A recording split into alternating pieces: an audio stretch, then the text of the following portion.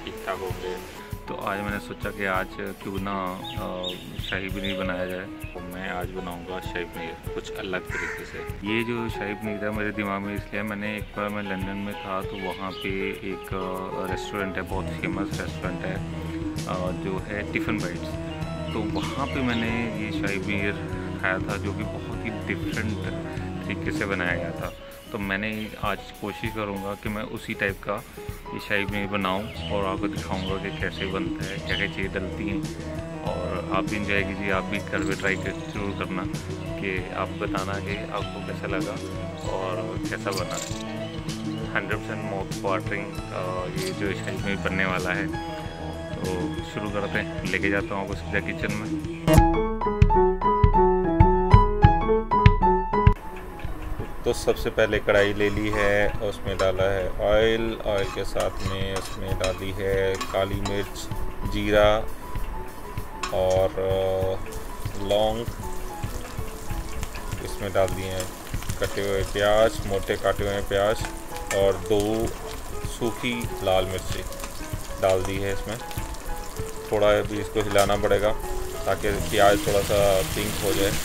अब इसके अंदर डाल दिए हैं टमाटर। टमाटर भी आप बड़े काट के डाल सकते हो और उसको हिलाते रहिए।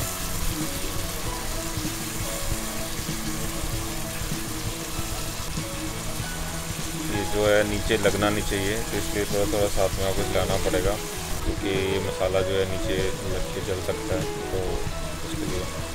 अभी देखिए, टमाटर एकदम लाल और प्याज जो है अभी खुशबू आने लगी है इसमें, थोड़ा पकना लग गया है।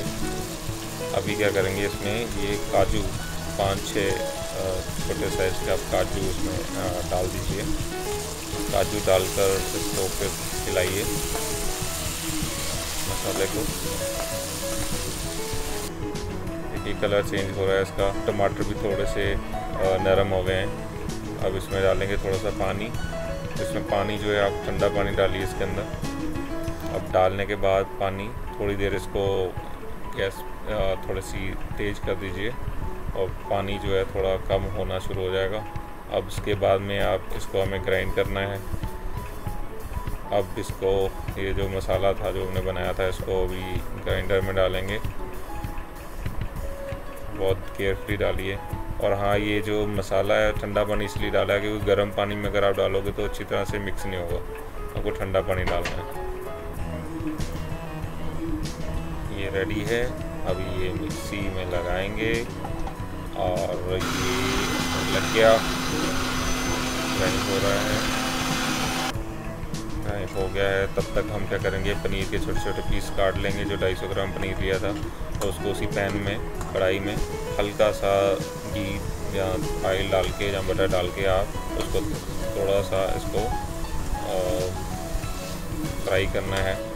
पूरा फ्राई नहीं करना है हल्का सा करना। है ये देखिए, इस तरह सा हल्का सा गोल्डन हो जाएगा तो तब तक करना है तो उसको एक सेपरेट बर्तन में निकाल लीजिए। अभी फिर उसी कढ़ाई में जो ये हमारा ग्राइंड किया हुआ है, उसको हमने छान लिया है, छन्नी से छान के इस कढ़ाई में डाल लिया है। अब इसमें डालेंगे नमक स्वाद अनुसार। और फिर इसके इसके अंदर हम डालेंगे ये कश्मीरी लाल मिर्च डाल सकते हैं इसके अंदर। कश्मीरी लाल मिर्च से इसका कलर जो है वो चेंज हो जाएगा। थोड़ी सी हल्दी डाली है इसके अंदर। अब इसको हिलाएँगे तो ये ग्रेवी हमारी रेडी हो जाएगी। इसको थोड़ा सा पकाइए। पकने के साथ साथ में चेक करते रहिए। और ये देखिए थोड़ा सा गाढ़ी हो गई है। तो इसकी ग्रेवी जो है आप थोड़ा पतली रख सकते हैं क्योंकि बाद में, बनने के बाद में ग्रेवी काफ़ी गाढ़ी हो जाती है। तो इसकी जो कंसिस्टेंसी है, जो ये थिकनेस है, थोड़ा इसी तरह का ही रखिए। ज़्यादा पानी मत डालिए जहाँ ज़्यादा सुखाइए मत, क्योंकि उसके बाद में, बनने के बाद में सूख जाती है ग्रेवी काफ़ी मज़ा आ रहा है बनाने में। अब मैं डाल रहा हूँ इसमें पनीर, जो हमने पनीर रेडी किया था। छोटे छोटे पीसेस में काटा हुआ है तो पनीर डल गया है।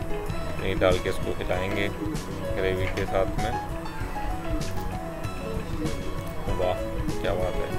तो ये बुलबुले आ रहे हैं और बहुत अच्छा दिखने में बहुत अच्छा कलर आ रहा है ग्रेवी का।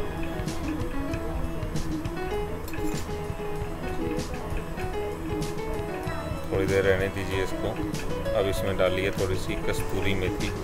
उसको आप भून सकते हो या फिर उसको हाथ से मसल के वो डाल सकते हो, कस्तूरी मेथी। तो ये लीजिए कस्तूरी मेथी डल गई है इसके अंदर। और इसमें एक चम्मच जो है वो चीनी डालेंगे और आपका ये शाही पनीर तैयार है। तो ये देखिए, ये अब इसको इस तरह से सर्व कर सकते हैं। देखिए, ग्रेवी की जो थिकनेस है, पनीर है, कलर कितना अच्छा बना है ग्रेवी का।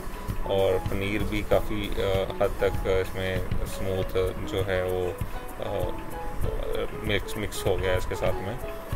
और ये देखिए, ये है तैयार शाही पनीर क्या ज़बरदस्त कलर है और क्या ज़बरदस्त इसका यमी है तो बस जल्दी से इसको खा लिया जाए। तो इतने मुँह में पानी आ रहा है मेरे भी, और आप भी बनाइए, ट्राई कीजिए।